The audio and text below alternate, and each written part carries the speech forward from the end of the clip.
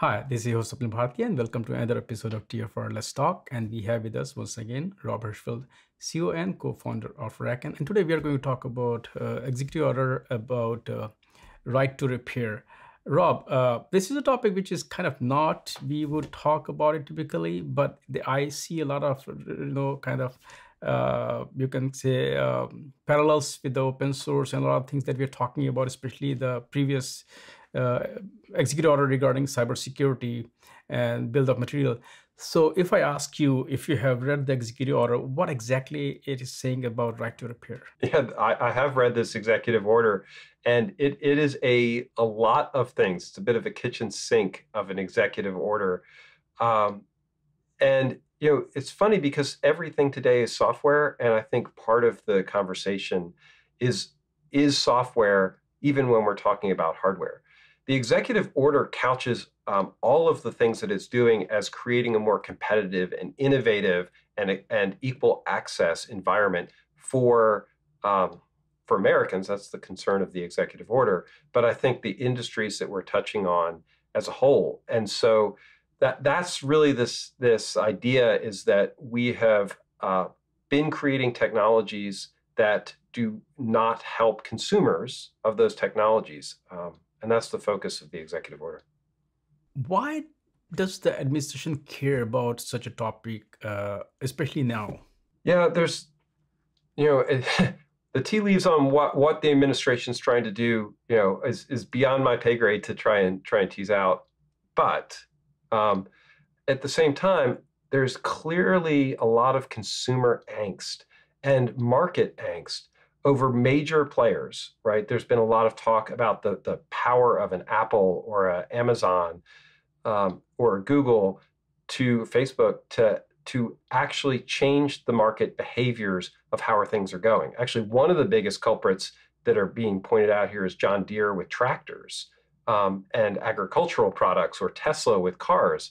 Um, these are you know very important products in our society and yet, those vendors are able to operate them with a degree of impunity that is causing concern with consumer groups, um, and I think also causes concern with the administration and how they how they want to regulate, or even if they can regulate those companies you gave so many examples. John Deere was example. Of course, uh, we don't know much about you know how Tesla approaches that, but I do remember at one point John Deere said that you know everything on their machines is proprietary. You cannot make any changes to that, and which is kind of dangerous. Uh, I should be able to open the hood of my car and be able to make whatever changes I want to make. That is what it's all about, you know. Especially with, uh, with tweakers like us, we we want to see how things work, and that's how the whole human society has evolved. Without being able to see how things work, we would not be here. America would not even exist uh, China would have, you know, control everything from gunpowder to paper. but uh, that that is core for any innovation to to be able to learn. But if I just focus on average user consumer, what does it mean for them? Well, there's a real question of ownership, and this is this actually to me goes way beyond what what individual consumers do because we see this in how enterprises are consuming software and infrastructure today. Um, people do not own things in these models, right? Uh, the, the whole point with John Deere is that the tractor is actually John Deere intellectual property. And you can't change it or touch it or fix it because it's it's actually John Deere's property. Uh, Tesla, it's the same thing. Tesla's car, even though you bought the car, they still own the software and the control systems that are inside that car. And this creates a really interesting paradigm shift. Apple phones, you know, you can't open up an Apple phone. You do not have the right to make those changes. That's where right to repair, which is a key phrase in a lot of this, comes in. Is this tension between the vendor selling you a product, you feeling like you've purchased that product, but then them treating it as if it's a locked box that you don't own even after you have it. So if you open that phone or try and repair that car or try and patch your tractor, even run diagnostics on the tractors, you can be considered in violation of the, the, the right to use and, and lose control or ownership of that product. How are the companies who are you know kind of affected or they are the most concerned when uh, they uh, responded or reacted to that? Uh, I mean, there are a lot of companies, of course, Apple is one of those, Microsoft, and other companies who are like not very happy. What do you see there?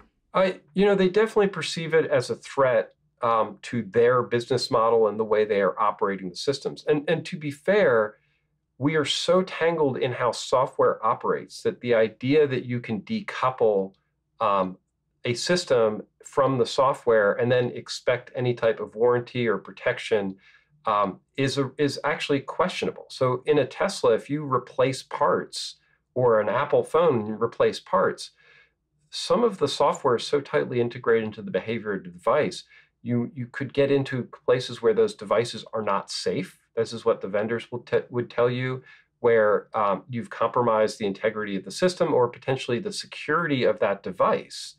Um, and they so they raise, and security is one of the, the favorite ones for the favorite flags to raise in this. If you take your iPhone to be repaired by somebody and they insert some malware, uh, change the chips, or reprogram the firmware, then you could have compromised the security systems that Apple has has worked very hard to protect, or the, the digital rights management of the you know the songs that you've downloaded or the videos that you've downloaded.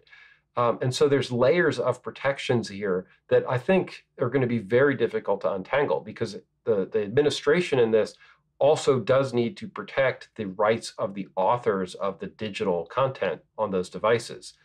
Um, and uh, this is where I think this executive order is going to get stuck very quickly between the property rights um, of those systems and then the right to repair rights of the consumers. Uh, it's going to be a very tricky thing to untangle. As you were talking about earlier, you know, there are a lot of, you know, there's a whole ecosystem around one device. That's just, it's not just the vendor and the user and some content creator what does this uh, right to repair, this executive order, mean for the whole uh, ecosystem? So, this is to me where the administration is really on track. And I, I think consumers should be much more alarmed than, that, than we are.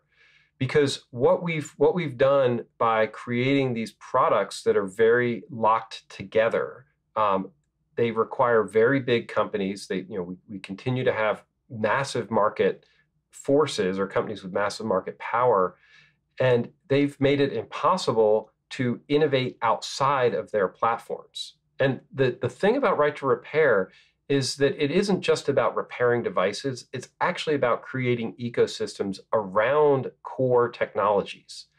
And the, the, the statements that have been made by the administration, and I think what we see in market generally, is that these large companies have very little incentive to create ecosystems that could compete or undermine their competitive advantage. And that really, if left unchecked, does create problems around innovation. You can innovate on iPhones as long as you're in the marketplace. We're seeing suits about that. You can, you know, innovate around, you know, John Deere tractors as long as you're doing it the way they want to do it. There's really no no place to do that. You can't add other components, tools, or extensions. The way we've seen innovation happen in the past innovation happens usually from very small small ideas usually small people you know small inventors in you know individual independent groups that then take something and extend it or change it and i think there's a very real concern that the lack of places for individuals to come in and innovate causes very serious um, slowdowns in how we innovate and how we move things forward and ultimately that does harm everybody, uh, including the big companies that are locking out that type of innovation. So this is a real threat. Um, I think the, innova- the, the administration is is taking a thoughtful approach on this, uh, not just in right to repair, but across the board in, in healthcare, agriculture, internet access, energy. Um, and we need to find ways that foster innovation within the systems that we have. And if we don't do that, you are entirely right about us being at a competitive disadvantage. And since you talk about healthcare, I remember Karen Sandler. You know, she had at GNOME Foundation and a, lot of other. Uh, she's with the Free Conservancy Software Conservancy Group. Uh, she has a you know she has a pacemaker or device in her heart, and her uh, life depends on it. But she herself cannot see the source code of it to actually know uh, because for a lot of reasons it can send uh, signals uh, to just you know push the heart again and it, there can be so many reasons. So these are the cases where we should actually have and since we talk about open source a lot uh, so your right to report uh, uh, right to repair does fall uh, it, it perfectly into the kind of world we want to build where we should be able to see and you know change modify things that we need to. I mean, when you can uh, you can run your whole cloud, uh, uh, you should be able to change your tractor as well. It is a very serious concern, um, very narrow-minded, to think that the technologies that we're dealing with today only have a two-year life cycle. The the the you know when you're talking about a pacemaker or a car or a phone, you know historically assets that you purchase have much longer lives. And it's an economic necessity that somebody can can take things that they've purchased, turn that asset into a long-term value. Um, and you know the fact that you you have to budget you know thousand dollars every two years to replace your phone technology, um, that is a privileged position for most people. Um, and you know we're building technologies that by design are subscriptions at the you know asset level. Um, and I think that this is something you know if it, you you you know I can see a very dangerous parallel with your pacemaker story, where oh I didn't pay my subscription fee for my pacemaker and I don't get updates to the software or I don't get patches or worse it gets turned off because I've no longer subscribed to it. Um, that's the world we've built here um, but I think this is way beyond right to repair. This is a, a matter of how we think about purchasing things and, and assets. And if the consumers thought that when they bought a phone, they bought that device and they should be able to maintain it, repair it, and use it for, you know, 10 years or 20 years if they're careful with it, um, that's a very different outlook from consumers than what we have today. Uh, and on the other side, just to be fair about this, the pace of innovation makes that also a very hard thing. Phone phones and the technology is evolving so quickly that if you looked at a five-year-old phone, um, it would have very few parts in common with a phone of today.